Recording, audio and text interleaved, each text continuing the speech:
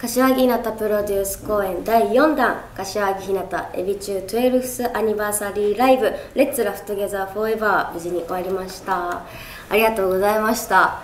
いや本当にあのー、ねあのお聞きの通りこあのこんなような声なんですけどもあの、本当に無事にまずは、えー、このライブを終えることができて本当にほっとしております。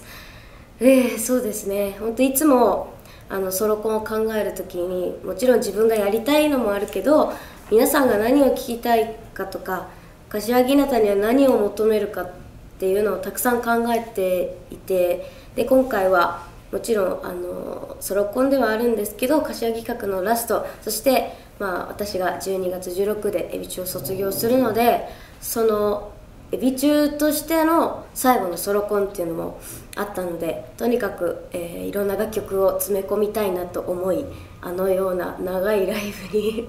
なりました、えー、もちろんたくさんねエビ中の楽曲は本当にいい楽曲がたくさんあるのでそれを、えー、皆さんにまた自分の歌で、えパフォーマンスで、え楽曲の良さっていうのを伝えられたらいいなと思いまして結構ジャンル的にもバラバラに入れた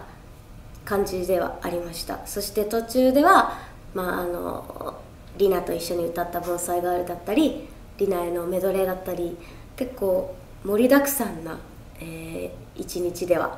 なかったのかなと思います。とにかく私も本当に声が枯れるまで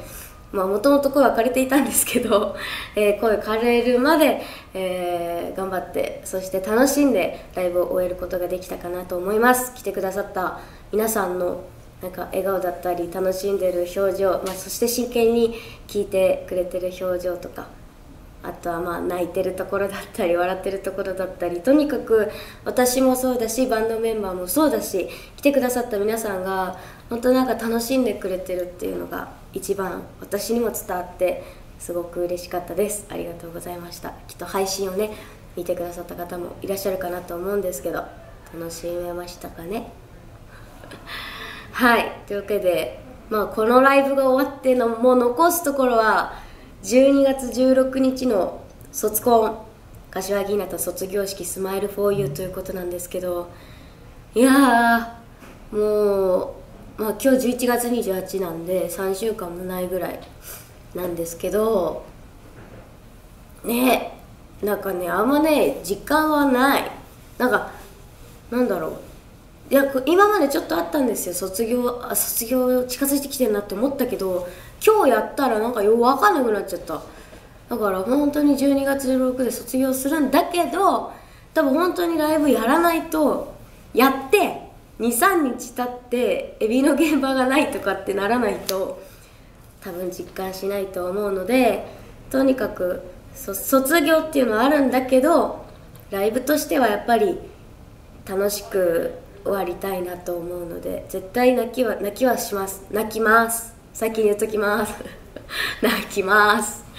だって泣くよそりゃ12年頑張ってきたんだもん。いや本当に、まあ、今日もそうだったけど